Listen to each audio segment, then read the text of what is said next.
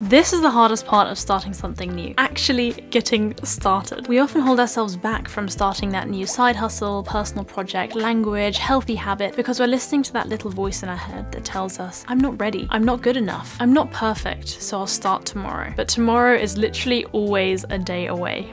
Weird, right? I've felt this way so many times while studying either medicine or Mandarin or working on my YouTube channel or fixing my sleep schedule. If you're like me and prone to this way of thinking, then try out this tip which has sorted me out so many times. Instead of having success as the goal, try setting the goal as just starting for five minutes. Just five minutes. You can do five minutes. Five minutes is easy. This helps to reduce the activation energy needed to take one step in the right direction. By celebrating these small wins, we build up momentum and motivation with this positive positive dopamine reward feedback loop, and these small wins soon add up to the big ones. A journey of a thousand miles begins with a single step. Learn to enjoy each step of the journey and let go of the outcome because